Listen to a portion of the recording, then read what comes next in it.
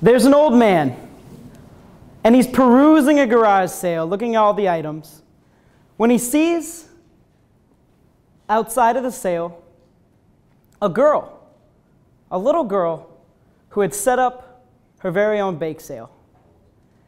And he strides over to her, and she is kind of hunched over, counting the money she had made for the bake, from the baked goods she had already sold that day. Wanting to get her attention, he pulls out a dollar and says, What's a cute girl like you doing selling cookies? The girl looks up confused and says, I'm a dude. That little girl was me.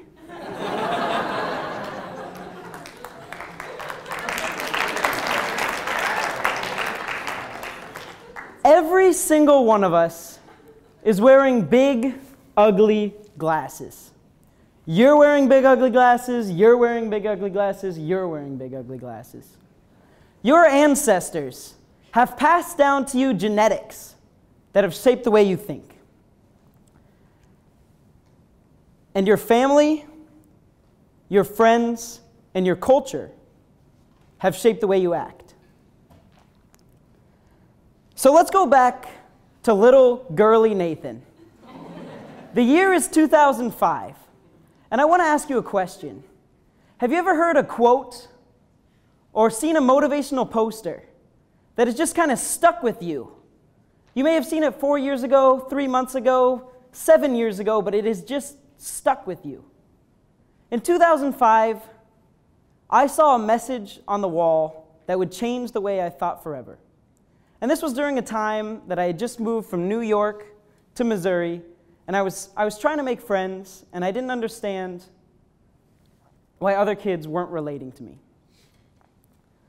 So, before I tell you what that message was, I want to tell you the three things I've learned since then that have helped me really understand what the message meant.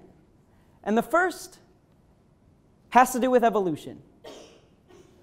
30 thousand years ago, your ancestor was walking through the forest when he saw a predator. It may have been a lion. And his eyes sent a message to his brain, and his brain sent a message to the rest of his body, registering that this is danger. His heart started pumping, his pupils dilated, and adrenaline coursed through his body. And he knew at that moment what to do. He ran. And he ran and he ran back to a tribe where he knew he had a family to take care of and friends who would help protect him against predators. Now, flash forward 30,000 years. The same brain, the same body, the same survival based way of thinking in a completely different environment.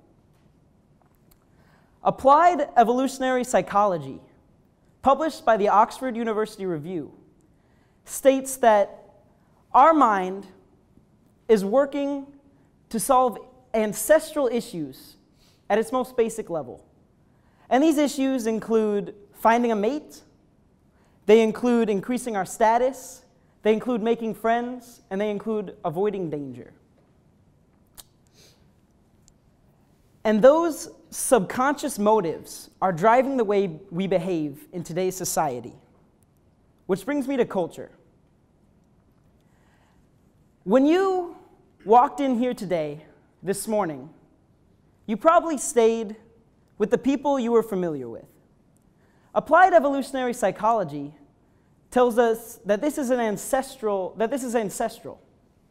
Our mind is hypersensitive to danger. So naturally, anything so naturally we're skeptical of anything that's unfamiliar.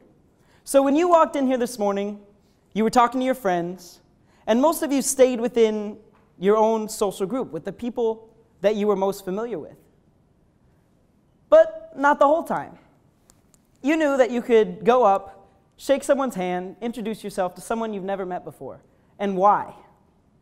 You knew by looking at them that you had something in common with them. You knew by the way they dressed that they were probably pretty, pretty average. You knew when, once you walked up to them that they spoke English, so you had a median to talk through, and you knew that based on the way they were communicating with you, through their body language and other messages, that you could continue conversation. If I walked up to somebody, shook their hand, and they smiled and started talking to me, I knew it was okay to continue a conversation. If I were to have walked up to any one of you this morning, shook your hand, and you kicked me in the shin, I probably would have known that it wasn't okay to keep talking with you. and that is culture. Also, we've seen presentations about superheroes, we've seen presentations about communism, and we've seen presentations about all of us uploading to Facebook. Now, why do we associate superheroes with comic books? Why do we have a negative stigma about communists? And why does almost everyone in this room upload to Facebook? And the answer is cultural influences.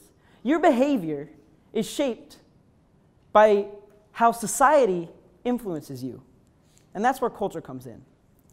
A way to break these bias, the biases you may have, the stereotypes you may have, is through experience.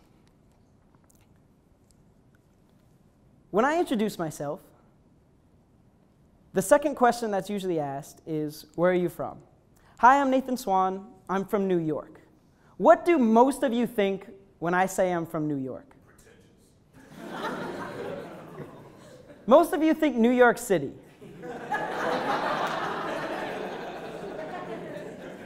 the fact of the matter is, I'm from upstate New York, but most people associate the entire state with one little corner of the state called New York City. I'm from a small apple orchard, not from the big apple, from the small apple. So I'd like to take 30 seconds. I have a minute left. Think of something that people associate with you that's not necessarily true and share it with your neighbor. 30 seconds.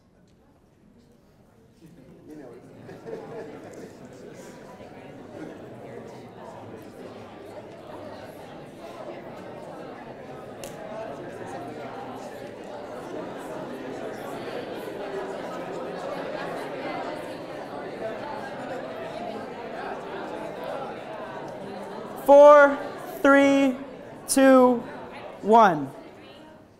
It may have been hard to think of something, but I guarantee every single one of you has been interpreted, has, has been misinterpreted at some point in your life. And I guarantee you've misinterpreted someone else. So let's go back to little girly Nathan Swan struggling to make friends in sixth grade. He looked and saw a message on the wall that would change his perspective. And here was the message Watch your thoughts, they shape your words. Watch your words, they shape your actions. Watch your actions, they shape your habits. Watch your habits, they shape your character. And watch your character, it shapes your future. Only when we understand that our subconscious drives our conscious, can we begin to change the way we think? Only when we understand that the influences of culture have changed our behavior can we change the way we act. And only when we understand that perception leads to judgment can we begin to take off our big, ugly glasses and begin to shape the world. Thank you.